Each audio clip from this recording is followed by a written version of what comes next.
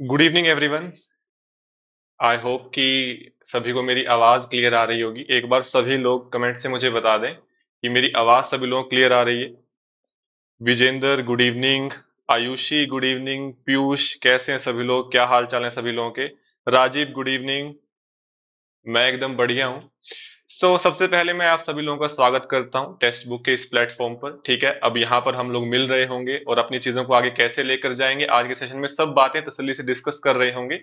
तो एक बार सभी लोग आप लोग जानते हैं कि जो लोग जुड़ गए हैं वो इस लेक्चर को अभी वीडियो को लाइक कर दें शेयर कर दें वो ज़िम्मेदारी आप लोग संभालते हुए चलें। कोई भी टेक्निकल दिक्कत आए आवाज़ आए बीच में आए तो परेशान होने की आवश्यकता नहीं है। हम लोग पूरी कोशिश करेंगे कि सारी चीज़ें बिल्कुल स्मूथली चले। कहीं कोई थोड़ी बहुत दिक्कत आ जाए तो आप लोग बताते चलना बस। जैसे कि आवाज़ कहीं पर गड़बड़ा है तो बता देना, उसे तुरंत ठीक कर देंगे। सब चीज़ें परफेक्ट है। विजेंद्र थैंक यू बताने के लिए कि आवाज़ क्लियर आ रही है। क्लियर है सभी लोगों को। चलिए तो आज की बातचीत की शुरुआत करते हैं हम लोग। और हम लोगों ने सबसे पहले जो टॉपिक चुना है है ना? रियल एनालिसिस वो क्यों चुना? किस तरीके से हम लोग आगे जाने वाले हैं, उसके बारे में बातें करेंगे। सो सबसे पहले बात करते हैं हम लोग इस टॉपिक के बारे में अपने रियल एनालिसिस बेसिकली अब आप लोग जैम से थोड़ा सा आगे बढ़ चुके हैं, है ना? जो लोग अपनी बीएससी कंप्लीट कर चुके हैं, अब उनको जो नेक्स्ट एग्ज़ाम टारगेट करना है, वो कौन सा एग्ज़ाम है? वो है आप लोगों के लिए सी एस आर नेट का एग्ज़ाम उसके साथ साथ चंद एग्ज़ाम और भी हैं, उनको तो आप टारगेट करेंगे ही करेंगे बट इन सब में जो सबसे महत्वपूर्ण आपके लिए जो पहला स्टेप है, वो नेट का एग्ज़ाम हो जाता है, ठीक है? अब नेट के एग्ज़ाम के लिए आप लोग अच्छे से एक चीज़ समझते हैं कि हमारे पास बेसिकली दो पोर्शन है प्योर मैथमेटिक्स अप्लाइड मैथमेटिक्स हालाँकि इसमें बहुत ज़्यादा हम लोग विभाजन नहीं करते हैं बट फिर भी चलिए कहने के तौर पर। अब प्योर मैथमेटिक्स में आप लोग अपने कौन से टॉपिक लेकर चलते हैं? रियल एनालिसिस हो गया लीनियर एल्जेब्रा हो गया एब्स्ट्रैक्ट एल्जेब्रा हो गया कॉम्प्लेक्स एनालिसिस हो गया। अब मैट्रिक्स बेस्ड टोपोलॉजी हम लोग रियल के साथ ही डिस्कस करते हैं। मेजर थ्योरी का हल्का सा हिस्सा जो कि एग्ज़ाम में कभी कभी पूछ लिया जाता है, वो भी हम रियल के साथ ही डिस्कस कर कर चलते हैं। अब ये जो टॉपिक है, हम लोगों ने सबसे पहले इसी टॉपिक को क्यों चुना यहाँ पर? उसके लिए मैं कुछ चीज़ें आपको बता देता हूँ। पहला तो आप लोग समझते हैं कि ये बहुत मज़ेदार टॉपिक है, क्योंकि इसकी शुरुआत आप लोग जानते हैं कि जो इसमें चीज़ें होती हैं, जैसे कि फ़ंक्शंस हो गया ठीक है, ग्राफ्स हो गए, लिमिट कंटिन्यूटी डिफरेंशियबिलिटी होगी, वो अपने आप ग्यारहवीं, बारहवीं से पढ़ते आते हो। यानी कि एक ऐसा टॉपिक है जो कि आपकी पुरानी चीज़ों के साथ जुड़ता है बिल्कुल अच्छे से। बट इसमें कुछ चीज़ें बच्चों को हमेशा दिक्कत देती हैं कि हम लोगों ने पहले चीज़ों को नहीं पढ़ा, ठीक है? जो लोग पढ़कर आते हैं, वो लोग हमेशा अच्छे तरीके से चीज़ें कर पाते हैं। बट वो लोग भी जो पहले चीज़ें नहीं पढ़कर आते तो उनको परेशान होने की आवश्यकता नहीं है। हम हर चीज़ को बहुत तसली से देखते हुए चल रहे होंगे, ठीक है? अब रियल में जो सबसे खास बात क्या है? नेट के एग्ज़ाम को लेकर, बाकी हर जगह तो ये अपने पास होता ही है ज़बरदस्त पेपर क्योंकि वहाँ पर वेटेज बहुत रहती है। नेट में भी इसका सेम ही हाल है। नेट के एग्ज़ाम में आप मानकर चलिए, आप लोगों को बेसिकली 200 नंबर के आसपास के क्वेश्चन वहाँ पर करने होते हैं, ठीक है? 200 नंबर के आपके पास क्वेश्चन होते हैं।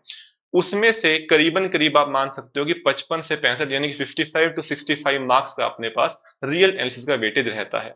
आप लोग समझते हैं कि आजकल का जो अपने नेट का जो कट ऑफ़ रह रहा है बेसिकली 90 के आसपास जो फेब्रवरी का एग्ज़ाम हुआ था, उसमें था। उसके बाद आप मान सकते हो जेआरएफ के लिए 100 के आसपास, हालाँकि थोड़ा कम चला गया था बट ऐसे दौर में जहाँ पर 100 नंबर पर आपका जेआरएफ क्वालिफाई हो रहा है, वहाँ पर यदि कोई पेपर पचपन से पैंसठ नंबर की वेटेज रखता है तो मुझे नहीं लगता कि मुझे आपको बताने की आवश्यकता होगी कि इसकी इंपॉर्टेंस इतनी क्यों है, ठीक है? सबसे पहली बात, हमारे पास जो पेपर है, आप लोग समझ जाएँगे कि 55 टू 65 की वेटेज रखता है। इसीलिए सबसे पहले इस पर फोकस करना, इस पर पकड़ बनाना हमारे लिए बहुत आवश्यक हो जाता है। उसके साथ साथ हमारे पास आप मान सकते हो 65 मार्क्स किस तरीके से बनते हैं? पार्ट बी में इसके आप मान सकते हो सात से आठ सवाल आते हैं और नौ से दस सवाल आप मान सकते हो कि इसके आसपास ही आपके पास पार्ट सी में रहते हैं। अब उसके साथ साथ हमारे पास जो टॉपिक है, आपके बाकी टॉपिक्स के लिए फाउंडेशन का काम भी करता है। जो चीज़ें आप इसमें सीखते हो वो सारी चीज़ें आपके पास अलग अलग पेपर में सवाल को सोल्व करने की टेक्निक्स के तौर पर अक्सर काम आ रही होती हैं। तो इसलिए हम सबसे पहले रियल पर फोकस करेंगे और फिर चीज़ों को आगे लीनियर को देखते हुए एब्स्ट्रैक्ट एल्जेब्रा को देखते हुए, ठीक है? कॉम्प्लेक्स एनालिसिस को देखते हुए, जो लोग अभी अभी अपने बीएससी से निकल कर आ रहे हैं आईआईटी जैम की तैयारी कर कर तो उन्होंने अभी कॉम्प्लेक्स थोड़ा सा अभी उनका अंश हुआ है तो वो सब चीज़ें हम लोग डिटेल में देख रहे होंगे। मेरी यहाँ तक की बातें सभी लोगों को समझ आ रही हो तो फटाफट सभी लोग मुझे बताते चले। आप लोग जानते हैं, बताने का तरीका क्या है? कमेंट बॉक्स में मुझे नज़र आ जाना चाहिए, है ना? आप लोगों के प्यारे प्यारे इमोजी थम्स अप या जो भी चीज़ें आप करना चाहो, फटाफट मुझे बताएँ, यहाँ तक की बातें सभी लोगों क्लियर होती है। हाँ राजीव ने एक अच्छी बात की कि लीनियर और रियल के यदि हम सारे सवाल लगा दें तो आप एक अच्छा खासा वहाँ पर चांस आपके बन रहे होंगे। बट थोड़ी सी दिक्कत इसमें क्या है? मैं आप लोगों जानते हैं सभी कि मैं बिल्कुल साफ़ स्पष्ट बात करता हूँ कि थोड़ी सी दिक्कत क्या है कि ये एक बहुत चैलेंजिंग चीज़ हो जाएगी कि आप लीनियर और रियल पूरा का पूरा अटेम्प्ट करके आओ एग्ज़ाम में। बहुत चैलेंजिंग चीज़ है, ठीक है? क्योंकि आप लोग जानते हैं करीबन करीबन छह महीने की तैयारी होती है। इस छह महीने की तैयारी में आप एग्ज़ाम के लिए आराम से तैयार कर सकते हो, उसमें कोई दिक्कत नहीं है। बट क्या आप इन टॉपिक्स पर इतनी महारत, या आप कह सकते हो बिल्कुल पीएचडी लेवल की नॉलेज प्राप्त कर लोगे कि एग्ज़ाम में आने वाला हर सवाल आप कर पाओ, वो थोड़ा सा कठिन हमारे पास रहता है, ठीक है? तो हम लोग हमेशा मैं ये कहता हूँ कि हालाँकि इन दोनों टॉपिक्स की हमारे पास जो वेटेज है वो अच्छी खासी है बट कभी भी आप इस लूप में मत फंसे कि इन्हीं दो टॉपिक को तैयार कर कर जाए, ठीक है? आप लोग जितने ज़्यादा टॉपिक तैयार कर पाओगे तो उससे फ़ायदा क्या होता है? उससे हमेशा यही फ़ायदा रहता है कि रियल का सबसे मुश्किल सवाल करने की बजाय आप जो बाकी टॉपिक्स हैं, जैसे कि मान लीजिए डिफरेंशियल इक्वेशन हो गया ग्रुप थ्योरी हो गया, उनके आसान सवाल से नंबर निकालने। अब मुझे एक बात बताएँ सभी लोग, जो तीन नंबर आपको मिलने वाले हैं कभी क्या लिस्ट में ऐसे लगाया है कि नहीं जेआरएफ उन लोगों को दिया जाएगा जिन्होंने रियल का क्वेश्चन नंबर 58 किया और उस वहाँ से तीन नंबर लिए। उनको हम लोग नहीं देंगे जिन्होंने ओडी से या फिर अपने पास पार्शियल डिफरेंशियल इक्वेशन से तीन नंबर लिए। ऐसा नहीं होता है ठीक है? ऐसा होता नहीं होगा। आई थिंक आप लोगों को भी ये बात क्लियर होगी। सो so, हम लोगों को सब टॉपिक्स पे फोकस करना है। जितना हम लोग अपने पास मैक्सिमम टॉपिक कर पाए, ठीक है? कभी कभी ये होता है कि हम लोग ज़्यादा करने के चक्कर में चीज़ें छोड़ देते हैं। जितना आप मैक्सिमम टॉपिक्स कर पाए अच्छे से, इस चीज़ को ध्यान में रखना, यानी कंसेप्चुअल क्लैरिटी अच्छी होनी चाहिए प्रैक्टिस अच्छी होनी चाहिए जितने टॉपिक्स आप अच्छे से अच्छे कर पाए, हम लोग डिस्कस करेंगे मार्क्स वाइज डिस्ट्रीब्यूशन और क्या कॉम्बिनेशन है, जो कि हम लोग तैयार करें तो हम एग्ज़ाम में अच्छी तैयारी के साथ जा पाएँगे एग्ज़ाम को एक अच्छे रैंक के साथ क्वालिफाई कर पाएँगे। आने वाले लेक्चर्स में उसके बारे में डिस्कस कर रहा हूँ ठीक है? विजेंद्र ने एक अच्छी बात कही कि जहाँ से मार्क्स मिले, हमें ले लेने हैं। राजीव का क्वेश्चन है कि without without aptitude NET JRF हो जाएगा। देखो, पहली बात कि होने को तो हो जाएगा बट साथ में एक बात बताओ मैथ के लोग होकर एप्टीट्यूड से घबराओगे, ये तो कोई अच्छी बात नहीं है। एक बार मुझे बताओ, सभी लोग एग्री करते हैं इस बात से। अब एप्टीट्यूड का पार्ट तो आप लोगों के लिए तो आप मानकर चलो कि बिल्कुल बोनस का है। मैं ये नहीं कहता कि पंद्रह नंबर अपने पास क्वेश्चन आए हैं तो हर सवाल वहाँ पर कर कर आओ। बट कुछ सवाल बहुत आसान आते हैं, है ना? मैथ के लोगों के लिए तो आप मानकर चलो, बिल्कुल मुफ़्त के लड्डू वहाँ पर बट रहे होते कुछ सवालों में। कुछ सवालों में आप हल्का सा दिमाग लगाते हो तो रीजनिंग बेस्ड सवाल आते हैं, आप उन्हें भी कर पाते हो। यानी कि अगर आपका थोड़ा सा ये है कि नहीं, मुझे अपने पहले मैथ्स वाले पोर्शन पे अच्छे से फोकस करना है, एप्टीट्यूड पे मैं थोड़ा सा कम ध्यान दूँगा, फिर भी मैं हमेशा कहता हूँ कि आपको एप्टीट्यूड में से जो मुफ़्त के नंबर मिल रहे हैं, पाँच या सात या दस मिनट लगाकर अगर वहाँ से आप लोग छह, सात, आठ क्वेश्चन अगर ठीक कर पा रहे हो तो उन सवालों को भी छोड़ना नहीं है, ठीक है? आई होप की बात क्लियर हो रही होगी। चलिए तो आज की बातचीत की शुरुआत करते हैं। आप लोग जानते हैं कि हमारे पास जो शुरुआत है है ना? जो शुरुआत है, वो होती है हमारे एक सबसे पसंदीदा टॉपिक के साथ। हम लोग आगे चलकर टॉपिक्स के बारे में डिस्कस करेंगे बट हम लोग सबसे पहले जो टॉपिक उठाने वाले हैं, चाहे आप लोग रियल के बारे में बात करें, उसकी शुरुआत भी उसी टॉपिक से होती है। चाहे आप लोग बात करें हमारे पास कॉम्प्लेक्स एनालिसिस के बारे में, वहाँ पर भी आप उस टॉपिक के बारे में बात करेंगे। चाहे आप बात करें टोपोलॉजी के बारे में, तब भी आपको उसकी बहुत आवश्यकता पड़ेगी। मनक्रस में तो आपको पता है कि पहला पूरा चैप्टर उसी टॉपिक पे दिया गया है। अगर आप लोग उस टॉपिक का नाम गैस कर पा रहे हैं तो फटाफट कमेंट में मुझे बताएँ। फटाफट बताएँ सभी लोग। गेट का एप्टीट्यूड का लेवल हाँ वहाँ पर थोड़ा सा एप्टीट्यूड का लेवल अच्छा आता है बट गेट में आप बैलेंस कर पाते हो चीज़ों को, ठीक है? गेट में आप बैलेंस करोगे, तभी वहाँ पर एक अच्छा स्कोर कर पा रहे हो साथ ही साथ, वहाँ पर जो आपके मार्क्स हैं, वो थोड़ा सा आप लोग जानते हैं कि थोड़ा कम नंबर भी आए, तब भी वहाँ पर एक अच्छा रैंक आप आराम से ले पाते हो। विजेंद्र ने बता ही दिया, सभी लोग अच्छे जानते हैं या फिर भूल गए हैं? मुझे बताना एक बार कमेंट में सभी लोग, है ना? बताना कि ये बातें याद हैं या फिर सब भूल गए? बहुत समय हो गया ना? वाई एच लिख कर बताए कि याद है, सब भूल गए, यानी कि है ना, भूल चुके हैं पुरानी बातें। क्या, कौन सा सेट थ्योरी ये कब पढ़ा था, है ना? बनाने वाले भूल गए, पढ़ने वाले भूल गए। याद है नहीं? बताएँ सभी लोग कमेंट में फटाफट। सेट के बारे में कुछ कुछ बातें तो याद होंगी। तो शुरुआत करते हैं हम लोग सेट थ्योरी से। इससे कुछ बेसिक कॉन्सेप्ट्स पे आप लोग जानते हैं कि हमें पकड़ बनानी है। उसके बाद चीज़ों को आगे लेकर चलेंगे। हमारा जो बेसिक टारगेट रहने वाला आने वाले लेक्चर्स में, हम लोग सेट थ्योरी पर बात करेंगे बहुत अच्छे से फ़ंक्शंस के बारे में बात करेंगे बहुत अच्छे से, उसके साथ साथ हम आगे चलकर एक बहुत महत्वपूर्ण टॉपिक जहाँ से आप मान सकते हो कि शत प्रतिशत सवाल आता ही आता है और यदि आपने एक बार उसके सारे के सारे लेक्चर्स को देख लिया तो शत प्रतिशत आप सवाल वहाँ पर ठीक भी कर कर आ रहे होंगे। काउंटेबल अनकाउंटेबल सेट्स उनके पास हमें पहुँचना है। बहुत मज़ेदार टॉपिक है, चीज़ें बहुत मज़ेदार है। बस ध्यान से सुनना है समझना है। जहाँ दिक्कत आए, पूछना है। इतना सा काम आप लोगों का होगा। बट एक चीज़ आप लोग ध्यान में रखिएगा। सभी लोग जो लेक्चर से इस समय जुड़े हुए हैं, ठीक है, कुछ लोग इसकी रिकॉर्डिंग बाद में देख रहे होंगे, आप लोगों के लिए भी अवेलेबल रहेगा ये। सो सभी लोग अपना कॉपी पेन उठा लें, हाथ में। अगर मैथमेटिक्स के स्टूडेंट के हाथ में पेन नहीं होगा तो काम नहीं चलेगा, ठीक है? अच्छे से नोट करें चीज़ों को। लेक्चर में आने से पहले लेक्चर को रिवाइज करें और उन सब चीज़ों के बाद ही लेक्चर में आए, ताकि आपको जो चीज़ें हैं, जो समझ में आई थी पिछले लेक्चर में आज उनका यूज़ करना हो तो वो याद आ जाए, ठीक है? उन चीज़ों पर सभी लोग ध्यान देंगे। विजेंद्र को याद है, ठीक है, बहुत बढ़िया। सो आज की बातचीत की शुरुआत करते हैं सेट के साथ हम लोग अपनी शुरुआत करते हैं, देखते हैं सबसे पहले। हमारे पास, अगर मैं बात करूँ सेट की शुरुआत इन साहब का नाम लिए बिना तो हम लोग कर ही नहीं सकते हैं। फटाफट कमेंट में सभी लोग मुझे बताते चलें कि ये साहब सभी लोगों के सामने उनका नाम लिखा हुआ है, कितने लोग इन्हें पहले से जानते हैं, कैंटर साहब को। है ना? क्योंकि हमारे पास अगर हम शुरुआती समय के बारे में बात करें तो सेट थ्योरी हमारे पास बहुत ज़्यादा एक्सेप्ट नहीं की गई थी। कैंटर साहब ने जब इसे प्रपोज किया तो बहुत सारी दिक्कतें आई। कुछ लोगों ने कहा कि इसकी आवश्यकता नहीं है और सब चीज़ें इसने झेली हैं। बट अब आप लोग जानते हैं कि एक चीज़ जिसका पहले इतना विरोध किया गया था और आज का समय है, जब आप पहली बार थोड़ा सा बड़े होने के बाद मैथमेटिक्स की शुरुआत करते हैं, यानी कि अपनी ग्यारहवीं क्लास में जब आप डिसीज़न लेकर मैथमेटिक्स पढ़ते हैं, है ना?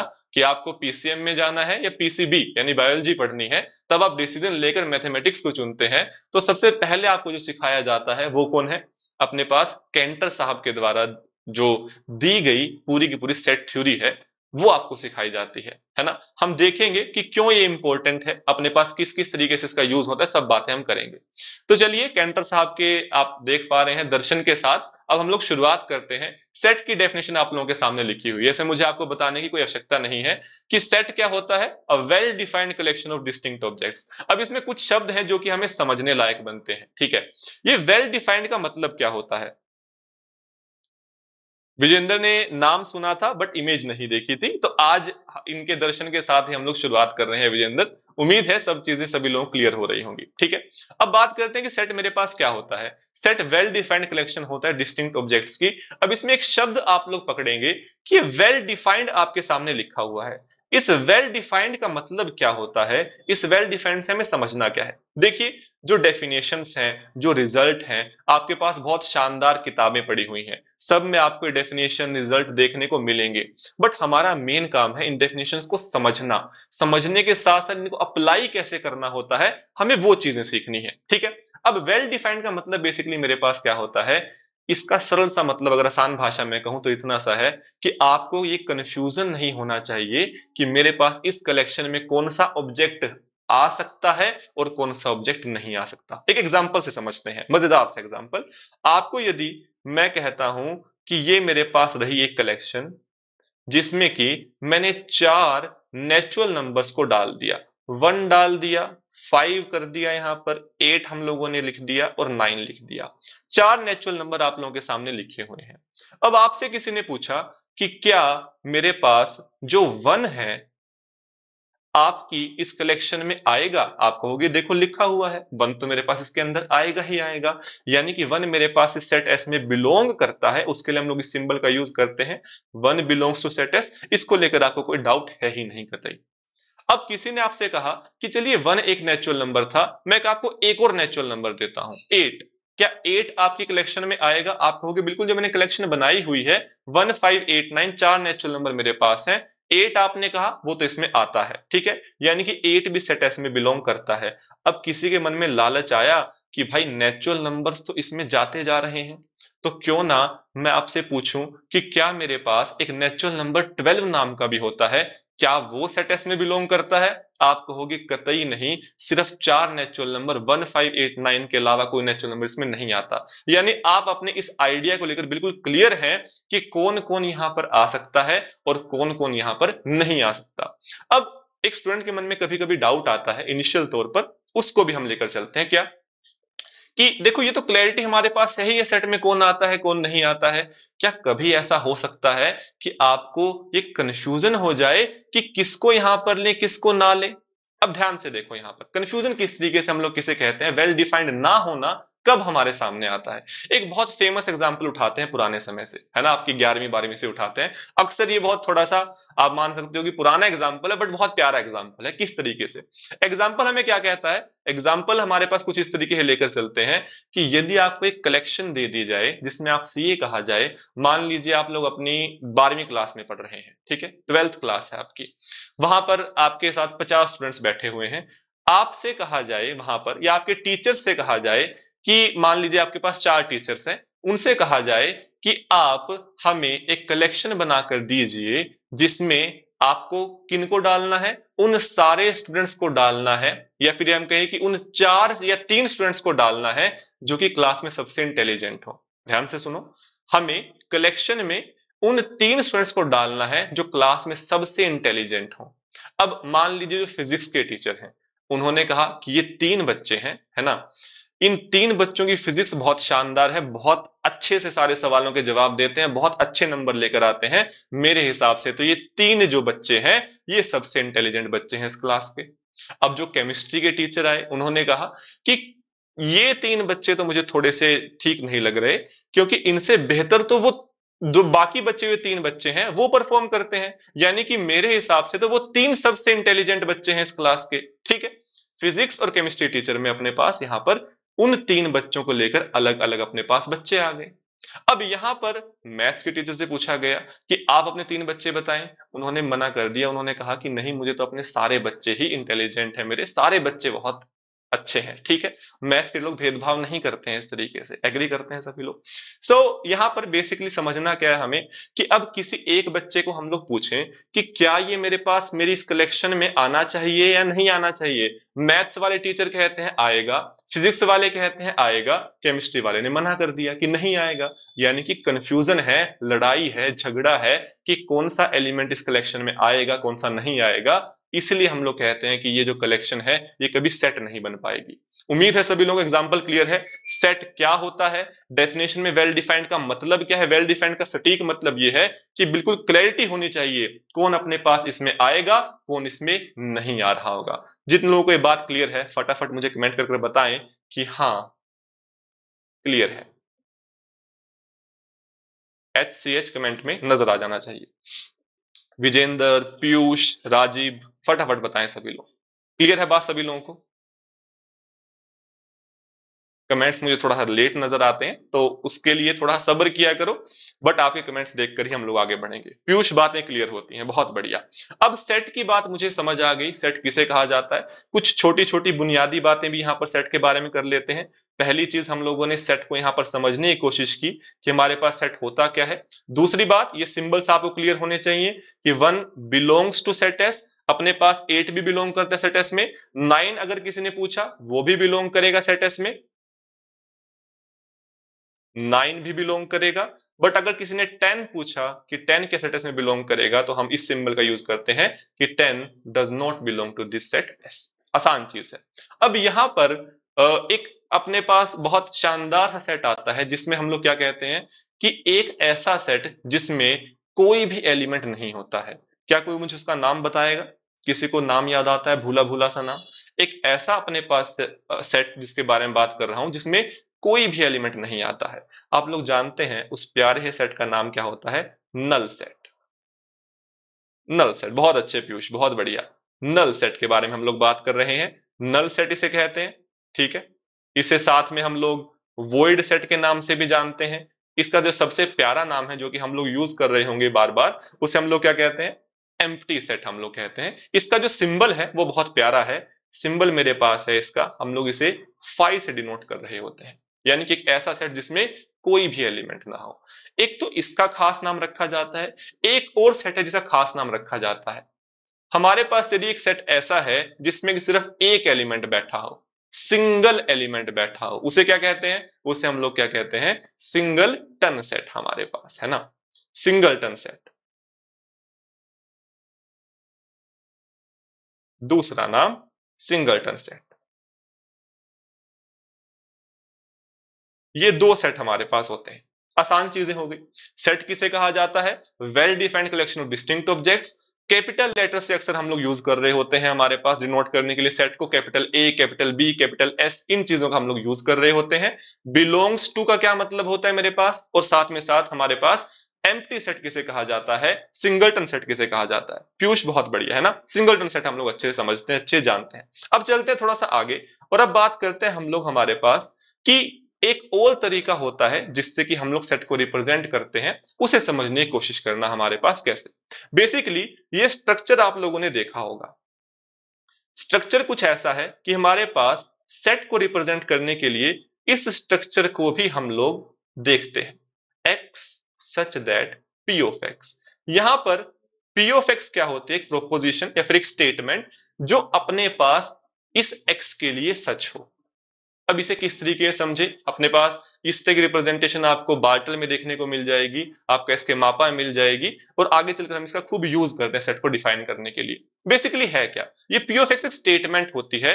बेसिकली ये उन सेट एक्स के कलेक्शन है उन अपने पास एक्स के कलेक्शन है, ये जो सेट है, जिनके लिए ये जो पी ऑफ़ एक्स स्टेटमेंट है, ये सच होती हो। अब इसका मतलब क्या है? हमें ये बात समझ नहीं आ रही। चलो, एक एग्ज़ाम्पल समझते हैं। एग्ज़ाम्पल हमें क्या कहता है? एग्ज़ाम्पल कहता है कुछ इस तरीके से, हमारे पास हमें वो सारे के सारे x लेने हैं such that x is an even natural number अब आप लोगों को बात क्लिक करेगी। अच्छा तो यहाँ पर ये स्टेटमेंट कुछ इस तरीके से लिखी होगी, यानी कि ये कोई प्रॉपर्टी बता रही होगी उस एक्स के बारे में। बिल्कुल, आप इसे ऐसे मान सकते हो। हमें यहाँ पर वो सारे एक्स चाहिए सच दैट एक्स एक इवन नेचुरल नंबर हो। अब ये इवन नेचुरल नंबर कौन कौन से होता है? फटाफट सभी लोग कमेंट में मुझे बता दें। इवन नेचुरल नंबर सभी लोगों को आइडिया क्लियर होता है? इवन नंबर्स और इवन नेचुरल नंबर में फ़र्क होता है। इवन नंबर्स में हम लोग इंटीजर्स के पास चले जाते हैं, है ना? ये चीज़ सब, सभी को पता होनी चाहिए। Zero plus minus two plus minus four ये सारे इवन नंबर्स हैं। इवन नेचुरल नंबर लिखने का मतलब क्या है मेरे पास? आप लोग यहाँ पर कंसीडर कर रहे हैं इस सेट को। इसमें टू बैठा होगा, ठीक है? फोर बैठा होगा सिक्स बैठा होगा एट बैठा होगा, ये सारे एलिमेंट्स होंगे। क्या इसमें ज़ीरो बैठा होगा? क्या इसमें ज़ीरो आएगा? इसमें ज़ीरो नहीं आएगा विजेंद्र। क्यों नहीं आएगा? आई थिंक विजेंद्र ने लिखा कि अपने पास इवन नंबर्स कौन से होते हैं? Zero plus minus two plus minus four उसके बारे में हम लोग बात करते हैं। बट यहाँ पर ज़ीरो इसलिए नहीं आया आपके सामने लिखा हुआ है natural numbers even natural numbers हमारे पास नेचुरल नंबर होते हैं वन टू थ्री फोर उसके बारे में तो हम लोग बात करेंगे ये आगे चलकर। सो so, हमारे पास एक ये तरीका भी होता है सेट को लिखने का। अब आपको चलो मैं एक एग्जांपल और देता हूँ सभी लोग मुझे बताना। मुझे बताएँगे ये सेट क्या बनेगा। सच दैट अपने पास x is a prime number बताएँ सभी लोग। ये सेट क्या बनेगा? हाँ विजेंद्र ने जल्दी जल्दी में अपने पास ज़ीरो लिख दिया टू लिख दिया थ्री लिख दिया। देखो, यहाँ पर एक चीज़ हमें सीखने को मिलती है विजेंद्र, है ना? जहाँ भी गलती हो, उस गलती से सीख लेना है तो वो गलती जो करवाने आई थी, आप मान सकते हो, वो काम हो जाएगा। कि हमें जल्दबाजी में काम नहीं करना है। हमें नॉलेज बहुत ज़्यादा हो सकता है एग्ज़ाम के दौरान बट उस तीन मिनट में जो आपको सवाल को सोल्व करने के लिए मिलते हैं मिलते हैं तीन मिनट उसमें आप अपने पूरे फोकस के साथ कैसे हर शब्द को पढ़ते हो, उस शब्द को समझते हो, उसे यूज़ करने के लिए जो रिज़ल्ट है उसे एग्जैक्टली exactly याद करते हो, जो मेथड है उसे एग्जैक्टली exactly याद करते हो, फिर उसके बाद जो आप ऑप्शन टिक कर कर आते हो तब जाकर आपका एक सवाल ठीक होता है। इसमें से यदि किसी भी एक प्रोसेस में भी गड़बड़ हुई तो आपके जो नंबर हैं, अगर पार्ट बी का सवाल हुआ तो नंबर तो जाएँगे ही जाएँगे, साथ में नेगेटिव नंबर भी देकर जाएगा। आई होप की बात क्लियर होती है। ठीक है? अब पीयूष ने बहुत अच्छा लिख दिया, बहुत अच्छे विजेंद्र, कि टू है थ्री है फाइव है सेवन यानी हमें समझ आता है कि इस तरीके से बेसिकली इस स्ट्रक्चर के अकॉर्डिंग भी हम सेट को डिफाइन कर पाते हैं। ये स्ट्रक्चर भी बड़ी काम की चीज़ है। आपको अधिकतर जो सेट दिए होंगे, वो इस तरीके से ही लिखे आपको मिल रहे होंगे। आप उनको फिर अपनी आसान भाषा में समझने के लिए कुछ इस तरीके से कभी कभी लिख लिया करोगे कि यहाँ पर टू आ गया थ्री आ गया फाइव आ गया सेवन आ गया और जो आपके पास प्राइम नंबर्स हैं। प्राइम नंबर्स बहुत प्यारे होते हैं। कुछ लोगों के साथ मैंने डिस्कस की हुई है प्राइम नंबर्स के बारे में कुछ खास बातें। प्राइम नंबर्स को लेकर मुझे बताओ। प्राइम नंबर्स आपको एग्ज़ाम में तो इससे रिलेटेड बातें मिली ही मिली हैं। नेट में आपको मिलेगा जैम में आपको मिलेगा, ठीक है। बट प्राइम नंबर्स को लेकर कुछ खास बातें हैं जो कि मेरा मन है कि आप लोग डिस्कस करूँ, ठीक है। अगर आप लोगों को चाहिए तो मुझे बता देना, फिर मैं एक दिन लेक्चर रिकॉर्ड करके आप लोगों के लिए प्राइम नंबर्स के बारे में कुछ बातें डाल दूँगा, ठीक है। कुछ बहुत इंटरेस्टिंग चीज़ें प्राइम नंबर्स को लेकर, जो कि आपको सवालों में तो सोल्व करने में करेंगी ही करेंगी, साथ ही साथ आपको नंबर थ्योरी में काफ़ी हेल्प करेंगी तो मुझे बता देना जस्ट कमेंट बॉक्स में, ठीक है। और साथ ही साथ कुछ लोगों के मन में डाउट होगा कि आपको जो इस लेक्चर की पीडीएफ है वो कहाँ से मिलेगी, ठीक है? तो जो लोग जुड़े हुए हैं, जो लोग अभी रिकॉर्डिंग में देख रहे हैं तो आपको इस अपने लेक्चर के ही कमेंट बॉक्स में वहाँ पर टेलीग्राम चैनल का लिंक मिल जाएगा। ये पीडीएफ आपको वहाँ पर मिल जाएगी। आपको पीडीएफ वहाँ से डाउनलोड करनी है। उसके साथ साथ मैं फिर भी हमेशा कहता हूँ कि आपको अपने हाथ से नोट्स बनाने हैं। जो बातें आपने सुनी हैं, जो बातें आपने यहाँ पर समझी हैं, और जो आपको लगता है कि आप आगे चलकर शायद भूल सकते हो ठीक है? आगे आने वाले लेक्चर में ऐसी बहुत सारी बातें आएँगी तो उनको अपनी लैंग्वेज में, चाहे वो कोई भी लैंग्वेज हो, कोई भी भाषा हो, उसमें लिखते चलना है मेंशन करते चलना है। ठीक है? पीयूष कह रहा है कि टेलीग्राम लिंक नहीं खुल रहा है तो बहुत जल्दी खुल जाएगा। घबराने की बात तो बिल्कुल भी नहीं है, ठीक है?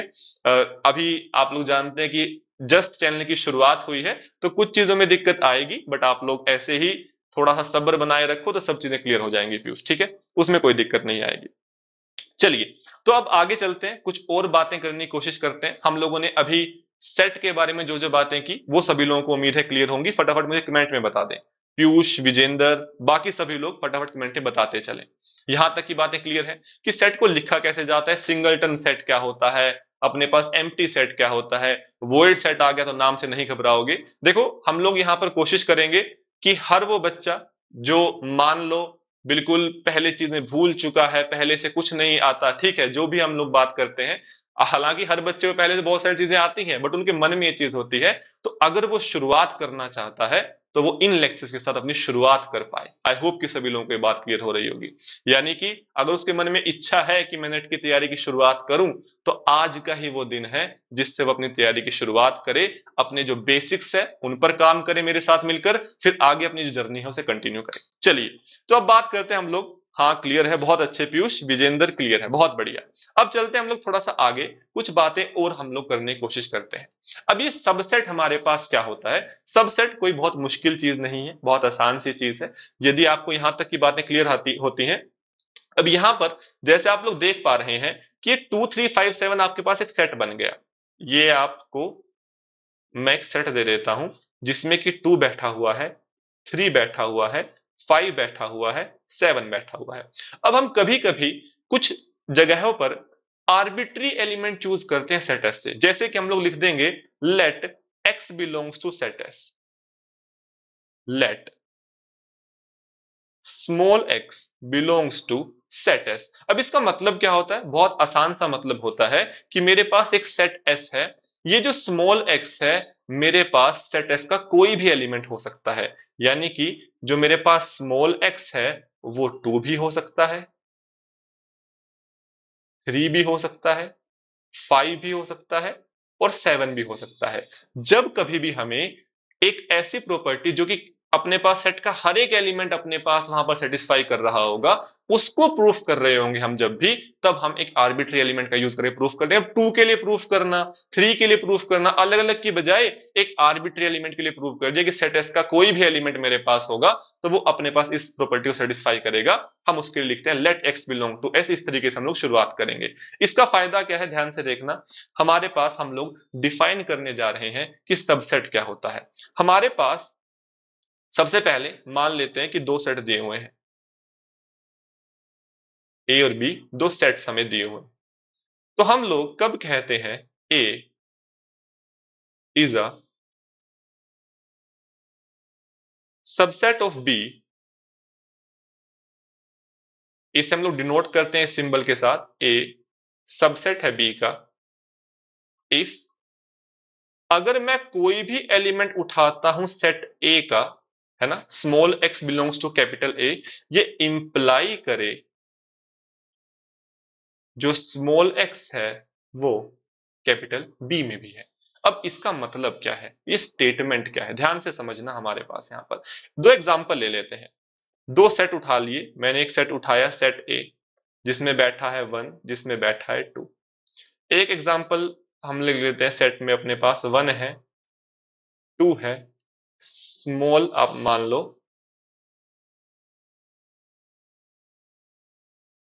वाई है जेड है। अब यहाँ पर अगर हम लोग बात करें कि हमारे पास क्या वन सेट ए में बिलोंग करता है? हाँ वन सेट बी में बिलोंग करता है। क्या टू सेट ए में बिलोंग करता है? हाँ क्या टू सेट बी में बिलोंग करता है? बिल्कुल। अब यहाँ पर अलग अलग लिखने की बजाय कि one belongs to A imply कर रहा है one belongs to B two belongs to A imply कर रहा है, टू बिलोंग्स टू बी। ये अलग अलग लिखने की बजाय, अगर मैं एक ही लाइन में ऐसे लिख दूँ कि यहाँ पर मैं यदि सेट ए का कोई भी एलिमेंट उठाता हूँ स्मॉल एक्स तो वो हमेशा अपने पास बी में भी होता है।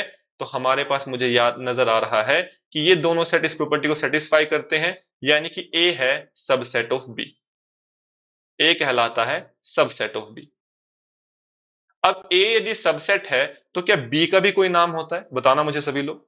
यदि ए मेरे पास सबसेट है तो क्या बी का भी कोई नाम होता है? वेरी गुड इवनिंग अक्षय ठीक है। सभी लोग आ रहे हैं।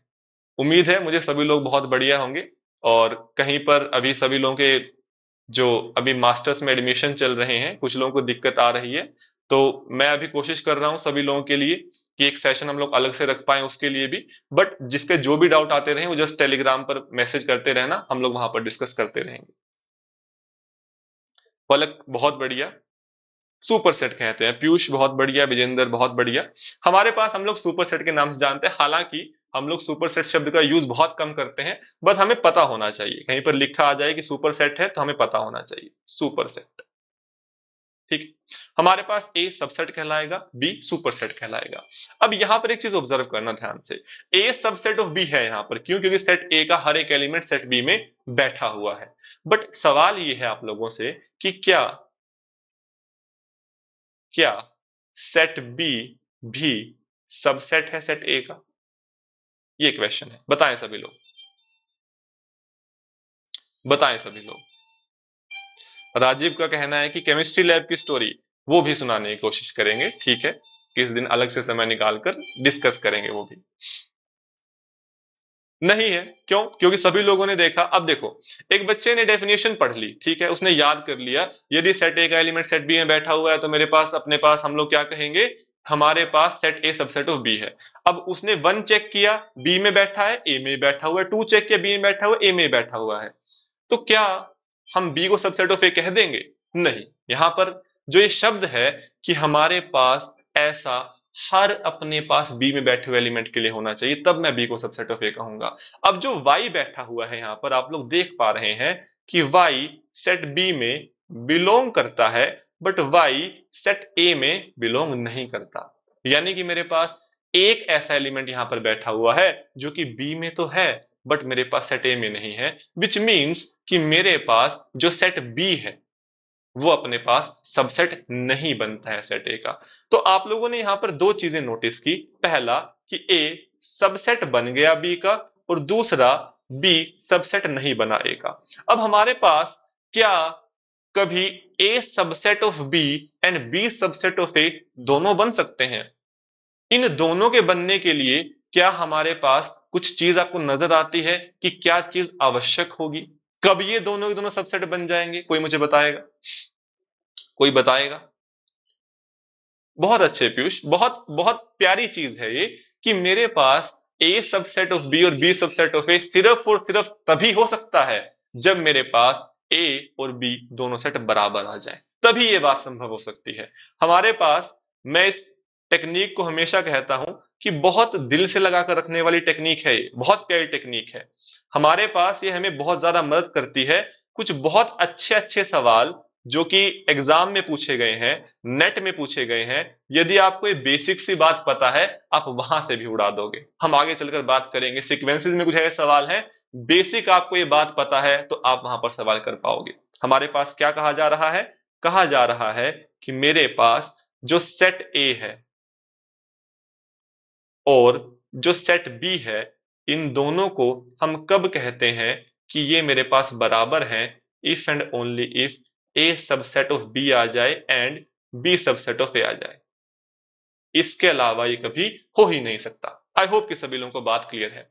अब यहाँ पर एक छोटा सा डाउट कभी कभी स्टूडेंट्स को आता है, ध्यान से सुनना। जब भी हम लोग काउंटिंग करने लगते हैं ना, तब ऐसे सवालों में थोड़ी सी परेशानी आती है क्या? कि अगर मैं एक सेट लिख देता हूँ यहाँ पर जिसमें कि मैंने तीन एलिमेंट्स को बिठा दिया वन यहाँ पर बैठा हुआ है टू यहाँ पर बैठा हुआ है थ्री यहाँ पर बैठा हुआ है। तो एक बच्चे के मन में डाउट आया कि अगर मैं यहाँ पर टू थ्री वन लिख दू, क्या मैं यहाँ पर थ्री टू वन लिख दू? क्या ये हमारे पास जो सेट मान लीजिए मैं इसको नाम दे देता हूँ ए वन इसको नाम दे दिया ए टू और इसको नाम दे दिया ए थ्री क्या ये A one A two A three तीनों बराबर सेट हैं या फिर ये अलग अलग सेट है हमारे पास? ये तीनों सेट के बारे में हम लोग बात कर रहे हैं। बिल्कुल बुशरा हम लोग अब से यहाँ पर मिल रहे होंगे, इस प्लेटफॉर्म पर मिल रहे होंगे। आने वाले जो सेशंस होंगे, उसमें हम लोग countability uncountability sequence and series ठीक है sequence and series of functions metric space linear algebra सब टॉपिक से बात कर रहे होंगे। सो so, जिन लोगों ने अभी तक चैनल को सब्सक्राइब नहीं किया है तो वो कर लीजिएगा। ये ज़िम्मेदारी अक्सर मैं स्टूडेंट्स पर छोड़ देता हूँ। आपको चीज़ें अच्छे समझ आए सब चीज़ों में आप लोग कंटिन्यूटी बनाए रखें। उसके लिए सभी लोगों को हर लेक्चर लगाना मैं उन्हें कहूँगा कि उन्हें लेक्चर लगाना चाहिए। बाकी आप लोगों की हमेशा इच्छा रहती है यदि ईमानदारी से तैयारी करोगे तो आराम से आप लोग छह महीने में एग्ज़ाम को बहुत अच्छे से क्वालिफाई करके आगे चल रहे होंगे। ठीक है? बराबर है। पीयूष कह दिया कि ये तो चीज़ें बराबर आ रही हैं। इसमें कोई अलग अलग वाली बात कैसे आ गई? क्योंकि आप लोग जानते हैं कि जब मैं सेट के बारे में बात करता हूँ तो यहाँ पर जो ऑर्डर है एलिमेंट्स का, वो मायने नहीं रखता। आप वन टू थ्री लिखिए टू थ्री वन लिखिए टू वन थ्री लिखिए, ये तीनों सेट मेरे पास बराबर है। डेफिनेशन से भी सेटिस्फाई हो रहे हैं। क्या A one subset of A two है? बिल्कुल है, क्योंकि वन ए वन में है वन ए टू में है टू ए वन में है टू ए टू में है थ्री ए वन में है थ्री ए टू में है। Same cheese A two subset of A one भी है। यानी कि मुझे बात समझ में आ गई कि जब मैं सेट के बारे में बात करता हूँ तो यहाँ पर ऑर्डर मेरे पास रेलिवेंट नहीं होता।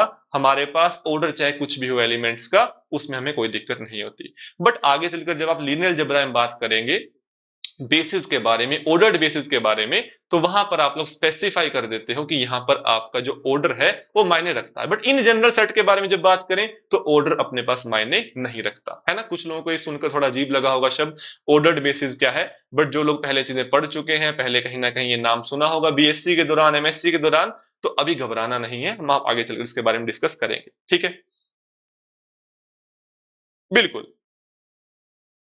हाँ ये बात भी पीयूष ने सही कही कि हम जनरली ऑर्डर में लिखते हैं, क्योंकि हम लोगों को ये जो इस तरह की सिमिट्रीज हैं, बहुत पसंद आती हैं ना? चीज़ें सीक्वेंस में हो तो हमें ज़्यादा अच्छा लगता है। यहाँ तक की बातें सभी लोग क्लियर हो रही हैं। एक बार मुझे कमेंट में बताते चले सभी लोग। पीयूष, पलक, अक्षय, विजेंद्र, क्या सभी बातें क्लियर हैं? यहाँ तक कोई डाउट कोई दिक्कत, कोई परेशानी, कोई कठिनाई किसी को हो? मैं कमेंट्स चेक कर लेता हूँ।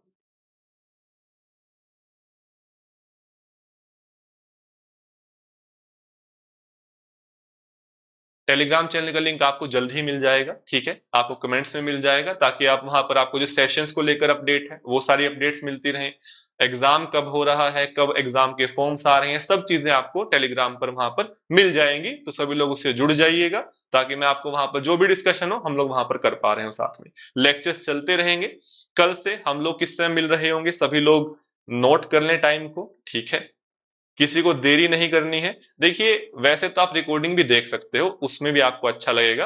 बट जो लाइव लेक्चर में हम लोग इंटरेक्ट कर पाते हैं वो और शानदार चीज़ है उसमें हम लोग और अच्छे डिस्कशन कर पाते हैं। सो so, रिकॉर्डिंग आप लोगों का समय बिल्कुल बचा पाएँगी बट जिन लोगों के मन में सवाल आते हैं डाउट आते हैं तो वो लाइव सेशन में साथ में पूछ सकते हैं ठीक है? सो so, यहाँ तक अगर सारी बातें सभी लोग क्लियर है मैं एक बार चेक कर लेता हूँ। क्लियर है क्लियर है बहुत बढ़िया। सो so, बाकी बातें हम लोग अपने आने वाले सेशंस में कर रहे होंगे। अब आप लोगों को आने वाले समय में क्या क्या टॉपिक्स पढ़ने की इच्छा है ठीक है? जो टॉपिक्स आपको लगता है कि नहीं, मेरा ये टॉपिक थोड़ा सा कमज़ोर है, इस पर मुझे सवाल नहीं हो पा रहे हैं, इसके जो डिफरेंट टाइप ऑफ़ क्वेश्चन हैं, उनमें थोड़ा सा मैं अटक जाता हूँ, किसी में कंसेप्ट में दिक्कत आती हो तो उन टॉपिक्स को आप कमेंट्स में जस्ट बता दिया करो, ताकि हम आने वाले सेशन को उसके अकॉर्डिंग में प्लान कर पाऊँ। अभी हम लोग जो शुरुआत कर रहे हैं, सबसे इंपॉर्टेंट टॉपिक है मानकर चले, हालाँकि सबसे बेसिक टॉपिक है बट सबसे इंपॉर्टेंट टॉपिक है काउंटेबल अनकाउंटेबल सेट्स तक हम लोगों को पहुँचना है। ढेर सारे एग्ज़ाम्पल करेंगे पीवाई क्यूज करेंगे, सब चीज़ें वहाँ पर डिटेल में हम लोग देख रहे होंगे, ठीक है? सो आज के लिए हम लोग इतना ही चीज़ों को रखने वाले हैं। बाकी बातें हम लोग आने वाले सेशन में तसली से डिस्कस करेंगे। थैंक यू वेरी मच किसी के मन में कोई भी डाउट आए, कल से हम लोग नंबर सिस्टम के बारे में बात करेंगे तो इस वीडियो में जस्ट कमेंट कर देना। ठीक है? टेलीग्राम लिंक आपको जल्द ही मिल जाएगा, जिस पर कि आपको ये पीडीएफ मिल जाएगा और आने वाली हर चीज़, हर अपडेट आपको वहाँ पर मिल रही होगी। साथ ही साथ, आप ये तो कर ही लोगे कि जो चैनल है उसको सब्सक्राइब कर लेना, वो सब चीज़ें आप लोग कर लेना, ताकि आपको जो लेक्चर के नोटिफिकेशन है, वो अपने टाइम पर मिलते रहे। ठीक है? सो, मिलते हैं आने वाले सेशंस में, खूब सारी बातें डिस्कस करेंगे। कुछ बच्चों के मन में अभी कहानियाँ सुनने की भी इच्छा है, वो कहानियाँ भी आप लोगों के साथ डिस्कस करूँगा। ठीक है? सो, मिलते हैं आने वाले सेशंस में। Thank you very much.